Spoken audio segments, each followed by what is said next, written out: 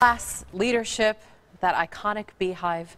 I'm tracking condolences tonight pouring into the ABC 15 live desk following the death of a former Arizona governor, Rose Mofford. The 94-year-old trailblazer became the first woman to hold office after the impeachment of Ev Mecham back in 1988.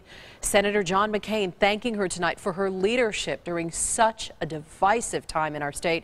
Writing in part, she did so with she did so with good humor and undeniable grace. She will remain an inspiring and cherished figure in Arizona, a state that loved her just as much as she loved it.